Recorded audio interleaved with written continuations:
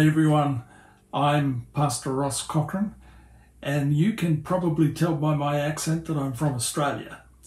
I have loved playing around with Blender for many years now. I can remember Blender 2.28x. Last year on September 17th, 2023, Blender Nation featured an article and an add-on about the magic eye effect or auto stereograms. And on seeing this, I purchased the Magic Eye Maker add-on by Blue Nile 3D. And I was fascinated by the hidden images that I was able to make. Here's one.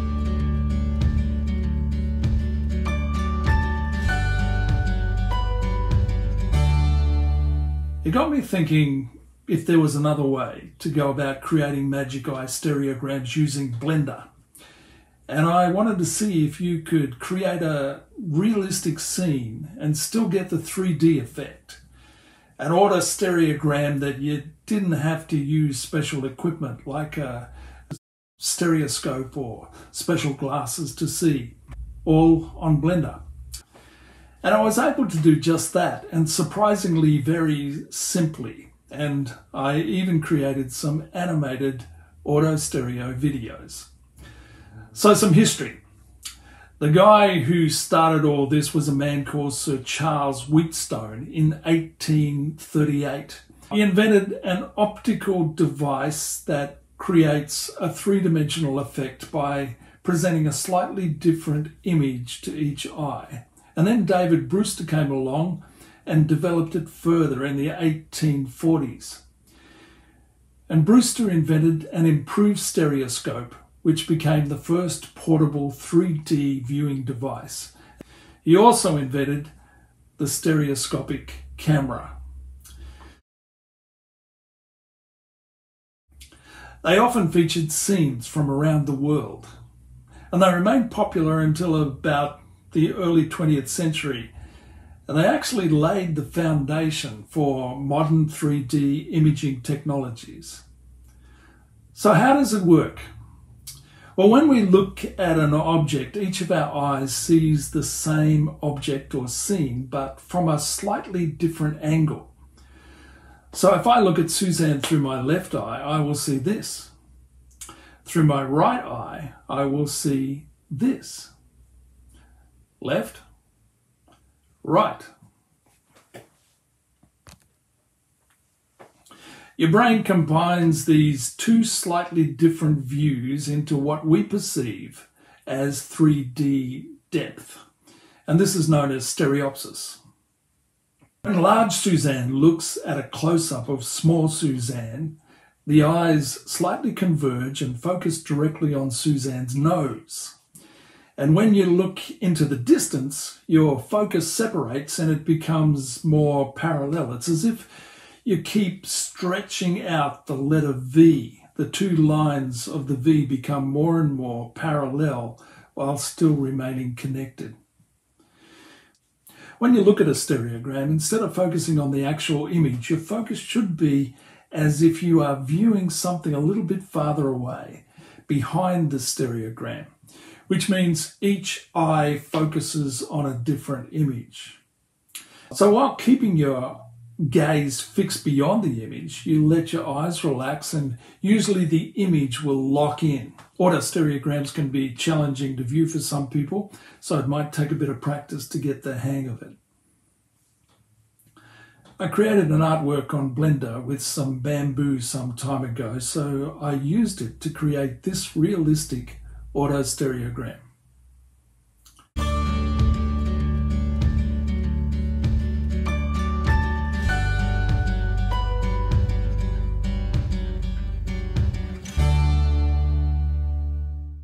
Okay, let me show you now a simple way of creating an auto stereogram on Blender. I'll use Suzanne and work in Eevee.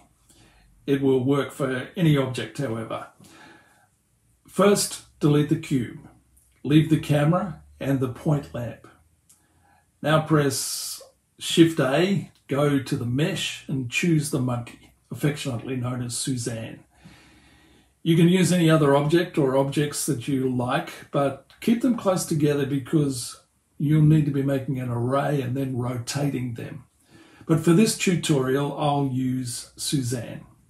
Suzanne looks a bit basic, so in the properties panel, go to modifiers and choose add modifier and then subdivision surface. And use your right click button and choose shade smooth.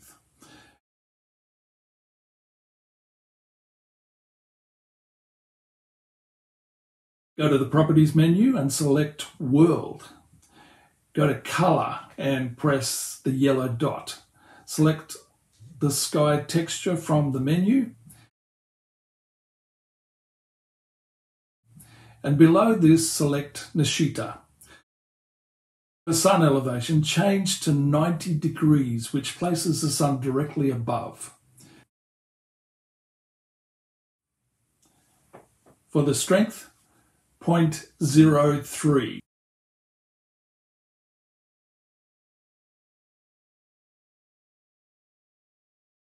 Go to the um, viewport shading render button up top and give our scene some light. Move down to the shader editor.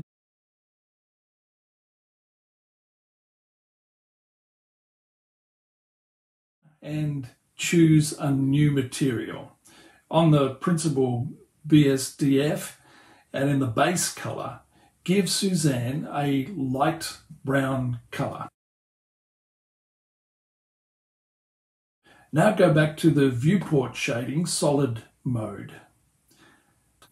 The simplest way to create autostereograms on Blender is using the edit tool called Spin. Starting off with our Suzanne, go into edit mode.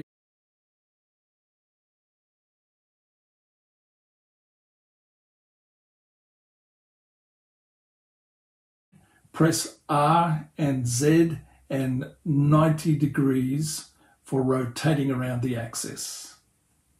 Then press G, X, minus 15.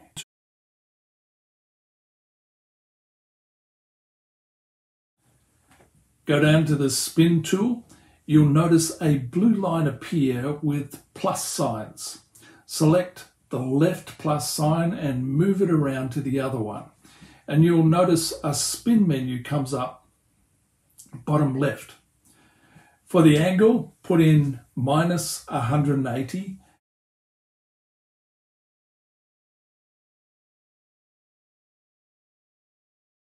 and select the Use Duplicates box. Choose 15 steps.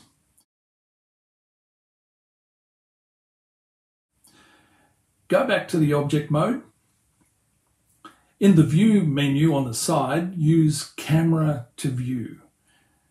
Now let's move the point light to the middle of this half circle and select the light and press numpad 7 for a top view and then this half circle. Select the light and press numpad 7 for a top view and move it by pressing G to the cursor in the center.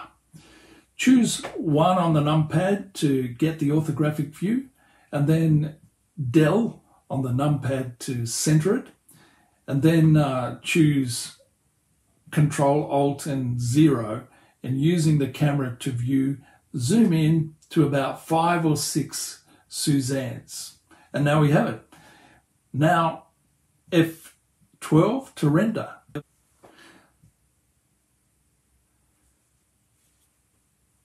So get the render at uh, eye level and don't tilt your head.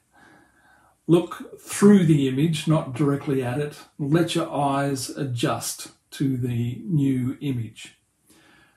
Okay, well I used a similar method and went on to create some Magic Eye Auto Stereo automated fish.